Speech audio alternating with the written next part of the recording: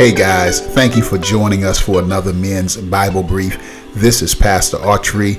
If you can, join us on Wednesday mornings. The info is on the screen. If not, we got you covered right here on YouTube. Well, let's go ahead and join the brief in progress. God bless you. Everybody doing good? Start over. good morning. Good morning, fellas. It's good to see everybody. I am going to go dark for a little bit um, as I am in transition.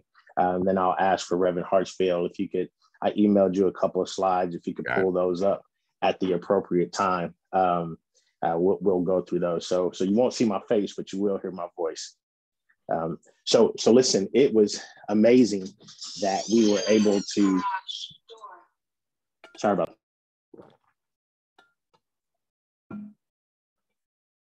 It, it was amazing that this topic came up um, at this time.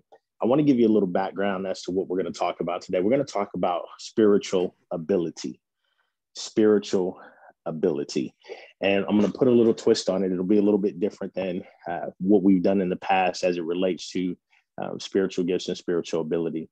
Um, but the Bible verse is actually the very same one that Reverend Hartsfield used this morning.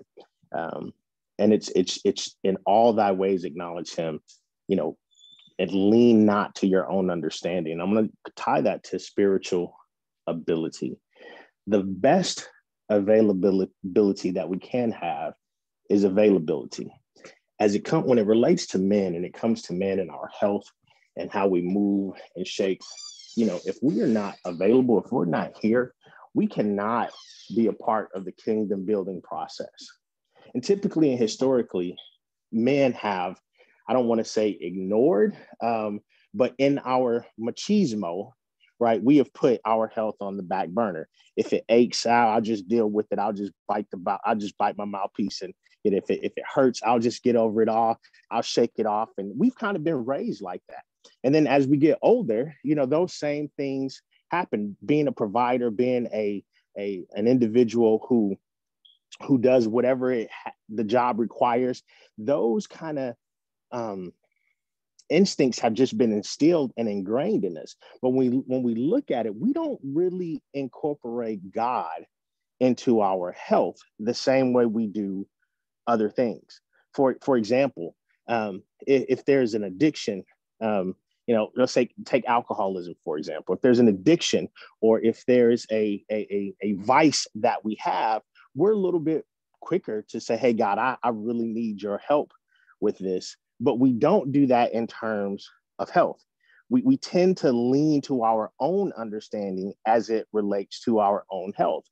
And the truth of the matter is, our health requires as much God in that as any other addiction. Any of you that have ever decided, you know what, I'm not going to do sugar anymore. What happens? What happens when you go that first full day with no sugar or the first uh, couple of 48 hours with no sugar? you get a headache right? You, you start you start your body starts to go through withdrawal symptoms from not having that. It is an addiction right? It, it becomes an addiction and you don't even realize it. Sweets listen uh tim tim makes those those cakes and pies and all that stuff and and, and those sweets man.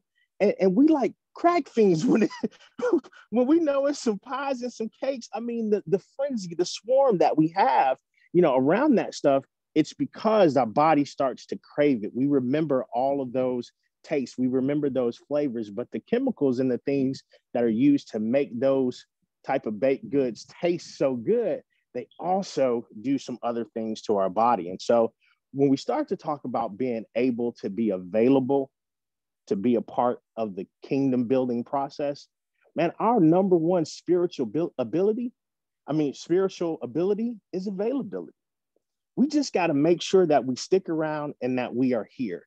And so Reverend Hartsfield asked uh, if we could, you know, kind of dedicate the month of July to kind of Men's Health Month.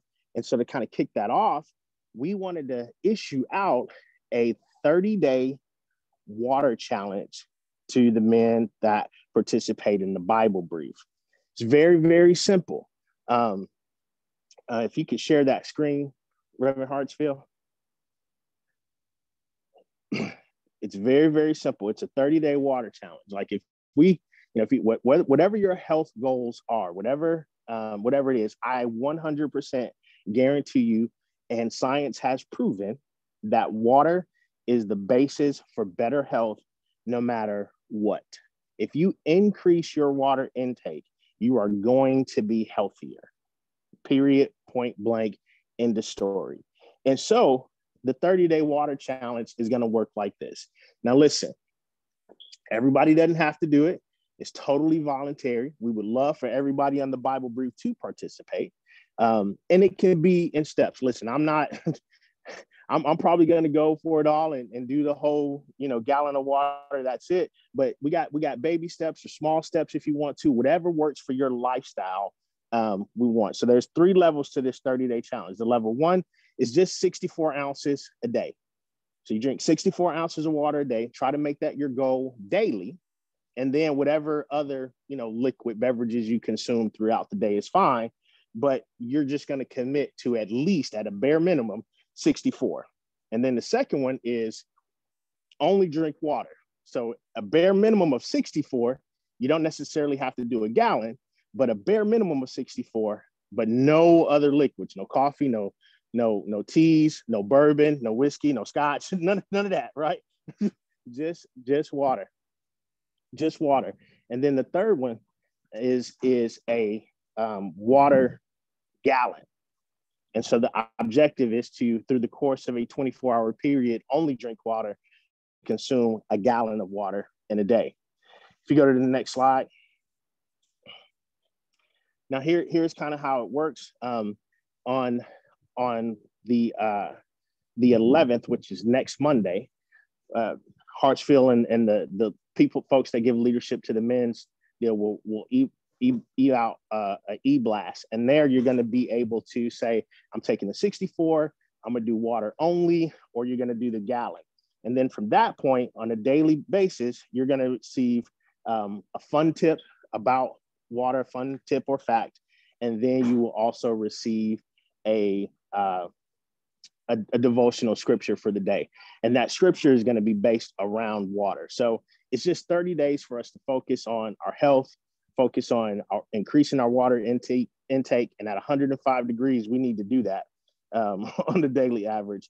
And then you know something to kind of focus you on you know the the the scripture a little bit just to keep you locked in um, um, to scripture because again our best ability our best spiritual ability is our availability. That's all i got reverend hartsfield